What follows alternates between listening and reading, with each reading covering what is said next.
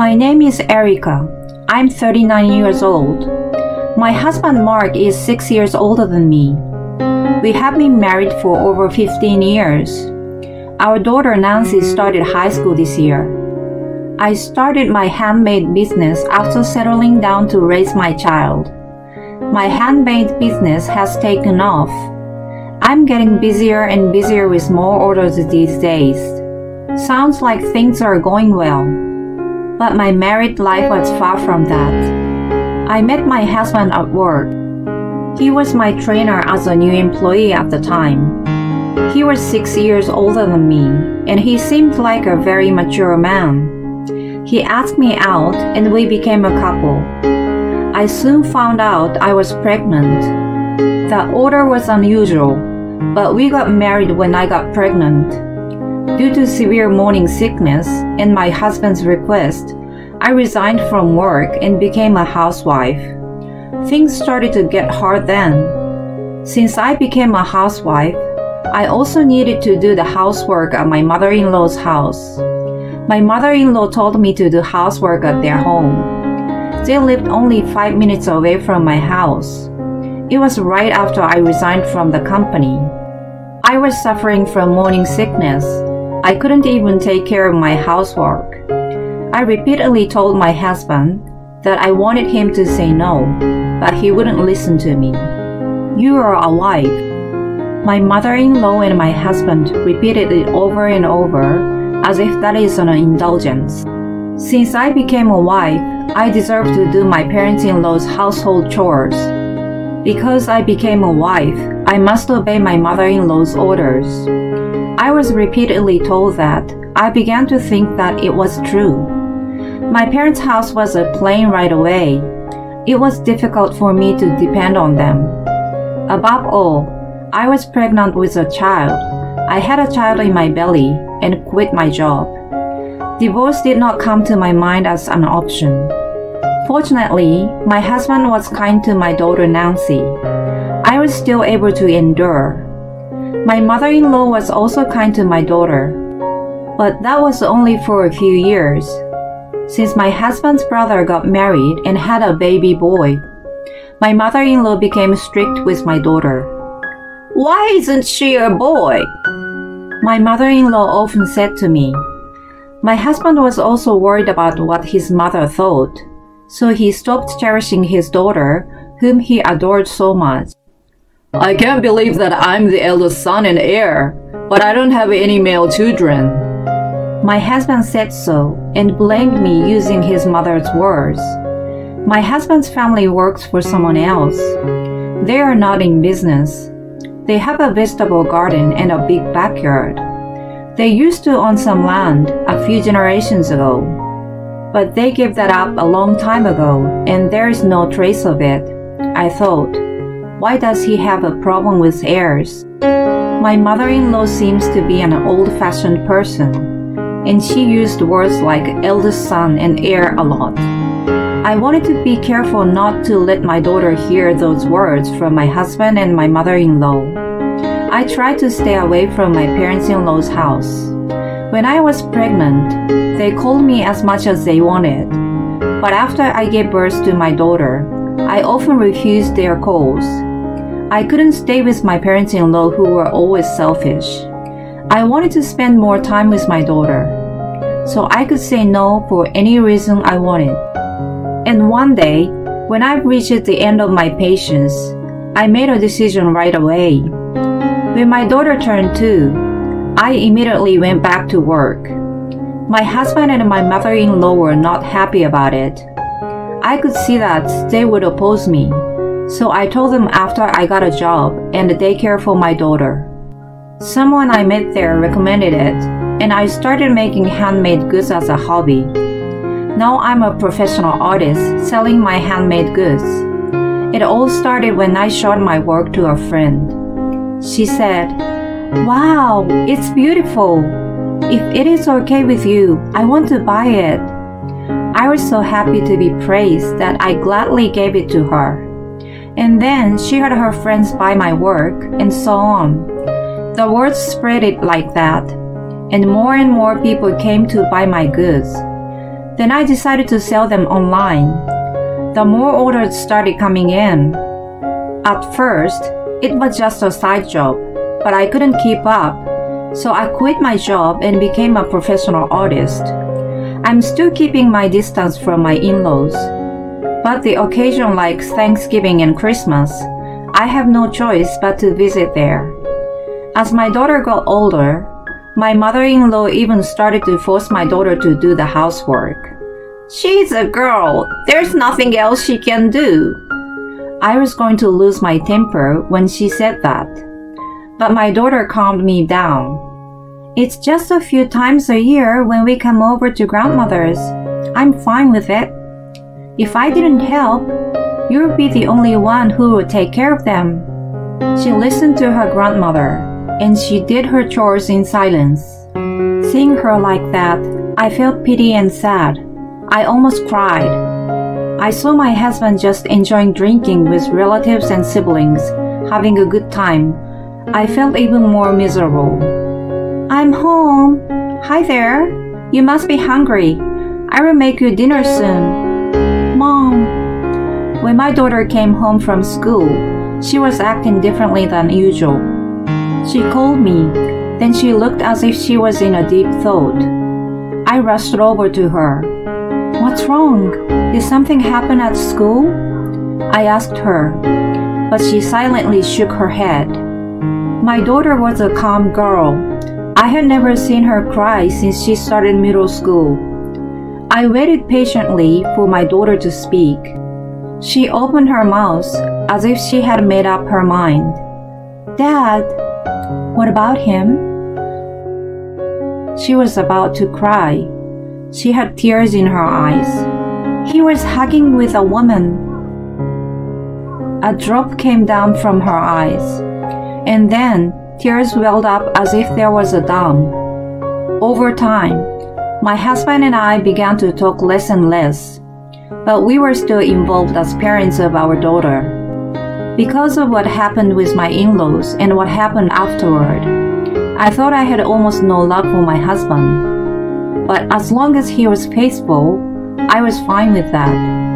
My husband never helped with any of the housework or childcare.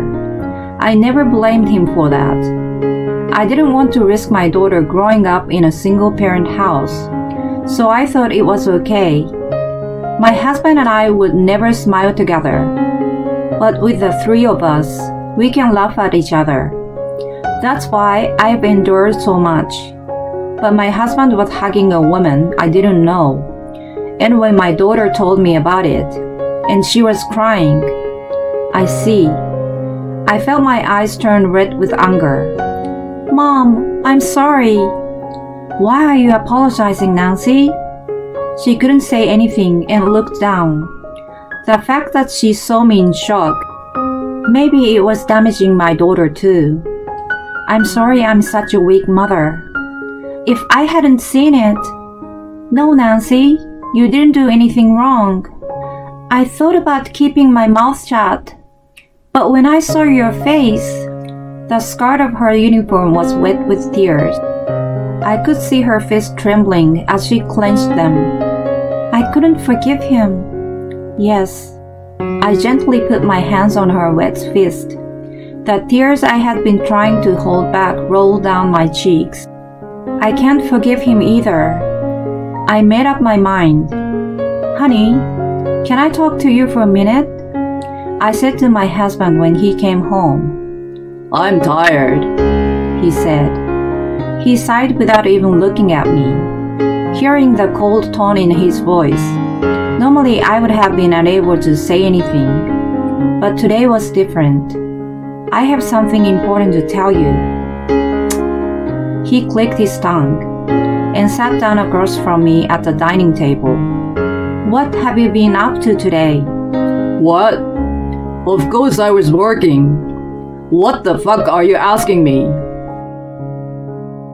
My husband yelled at me, hitting the dining table hard. I didn't react to it, but continued to speak. I saw you hugging a woman. What? I didn't tell him that Nancy had seen it. My husband was clearly upset. He looked at me and sniffed. So? What? So what about it? Are you cheating on me? I asked in a trembling voice. My husband laughed aloud. What else could it be?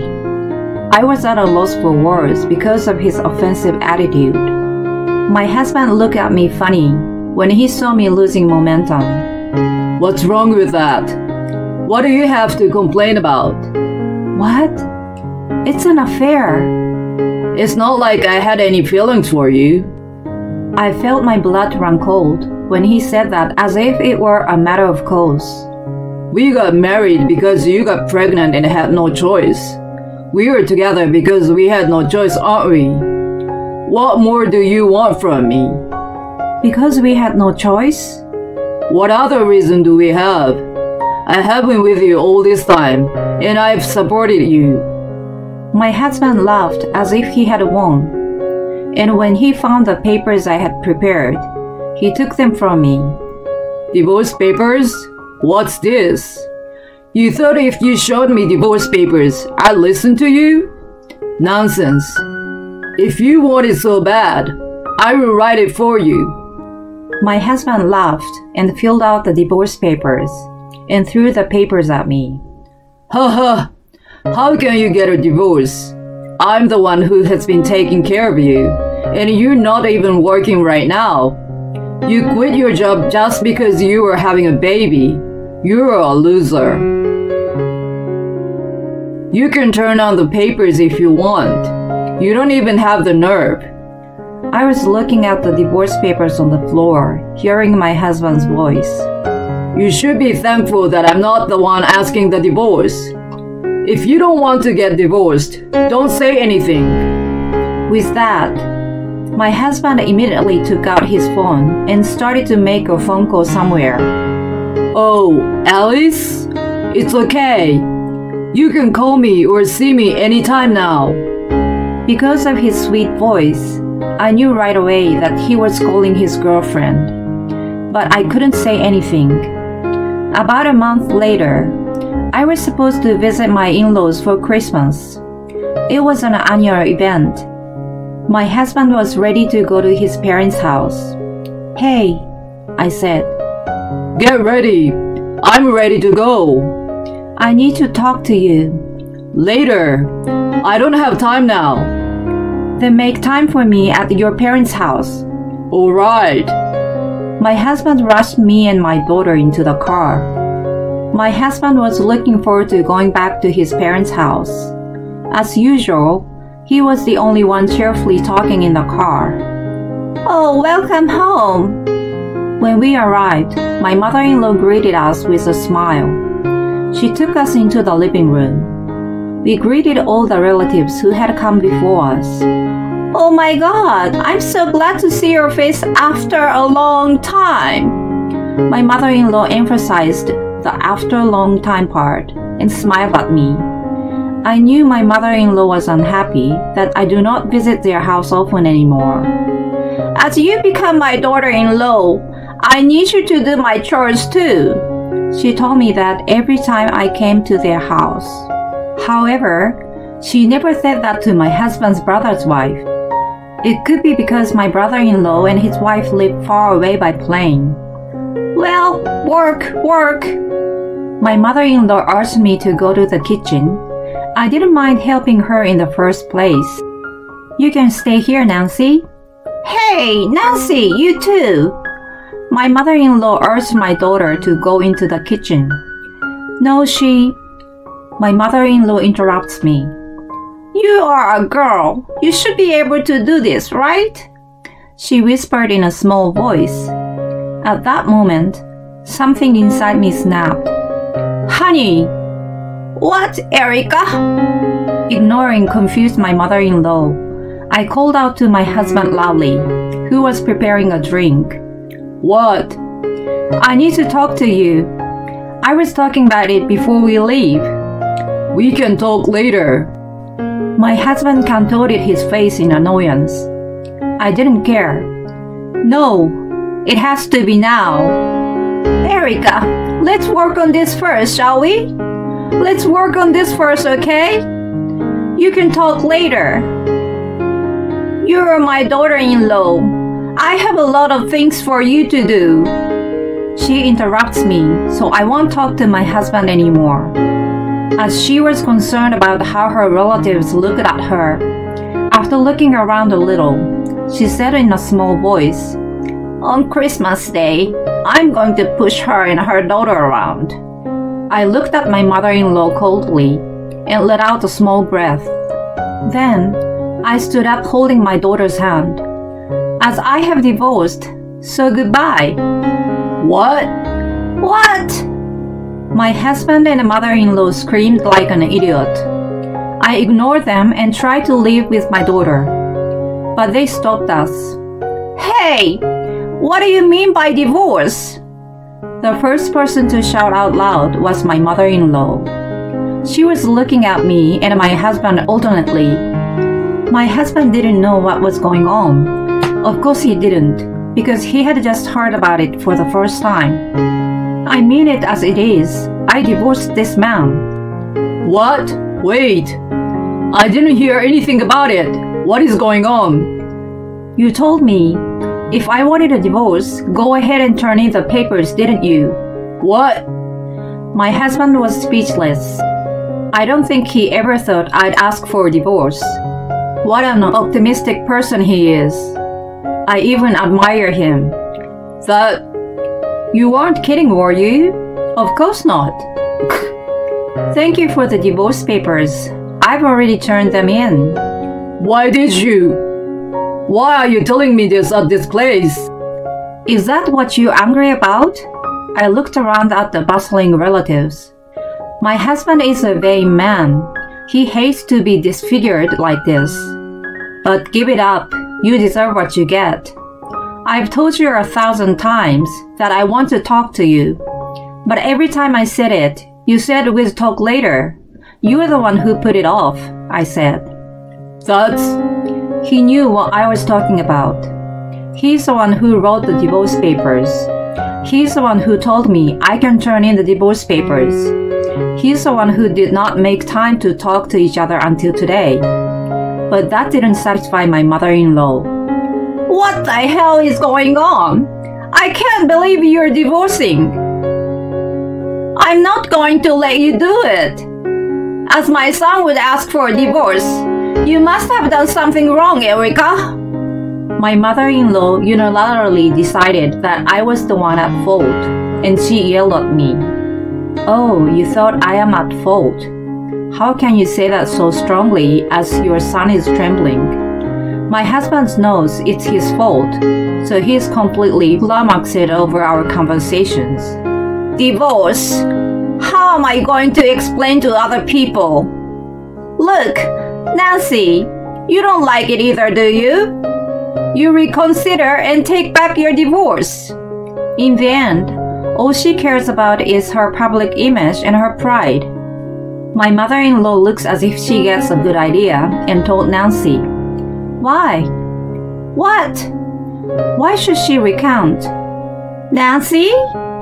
She looked at her grandmother and my husband with a cold look. Even though dad is cheating on mom? What? What? With the unexpected revelations, my mother in law froze. My husband had no idea that Nancy knew about it, so he said, Nancy, why? I saw it. I saw you were hugging a woman. What? Nancy, it is okay. She was so disgusted that she didn't even want to speak to her father anymore. I felt a little sorry for her. I probably should have stopped her from coming today, even if she wanted to come. Are we done? Then excuse us. With those words, I was going to leave. Cheating is a false accusation. What? It's defamation. You have no proof. I'm not divorcing you. My husband suddenly said something like that. I was taken aback. How could he say such a thing? You don't have any proof, do you? Why don't you want a divorce? Is it for your appearance? You said you never loved me. No, I. Sighing at my husband's stuttering, I took out a few pictures from my bag and scattered them around. What? This is a proof. The picture of my husband walking hand in hand with a young woman. The kind of contact scene he can't get away with. There's no way to get away with it. Being exposed in front of his entire extended family, my husband's face turned red. He hurriedly gathered up everything. Why did you? I think you've gone too far. I never said I condone cheating. He must have thought that even if he continued to cheat on me, I could not do anything. My husband was so open with a woman he kept seeing. I requested a detective agency to investigate my husband's behavior. I heard that it was very easy to gather evidence. The detective not only followed my husband, but put a hidden microphone into the woman's bag and recorded their conversation. You have been talking about me a lot to this woman, haven't you? What? A free housekeeper? Your mother's sandbag? How did you know that? At my words, my husband's face suddenly turned blue. All the relatives around us were looking at him and my mother in law. Mary, I'm not your sandbag. No, um, even if I married your son, I have no obligation to take care of this house. I have no obligation. I'm done. So from now on, please contact my lawyer. After I told them that, my daughter and I left. I had already turned in the divorce papers, but I requested the alimony afterward. He was going to put up a fight, but as I had hard evidence, he gave up. I also filed a claim against the woman he was having an affair with and got her to agree to pay. For my ex husband and ex mother in law, the story spread to their relatives and neighbors, and they are feeling very ashamed of themselves. As they are very proud people, neighborhood gossip must be quite stressful. My daughter and I started living a new life together. I'm a handmade artist. My business is doing well, Online orders are pouring in that I can't keep up with. My daughter told me that it's all over social media. I'm free from all the ties that bound me. I realize how hard my life has been. You were so good back then. I put my daughter go through a bad experience, but now she tells me about it like it's some kind of saga. So I'm grateful for her. From now on, I'm going to do what I want to do take good care of my daughter, and enjoy my life.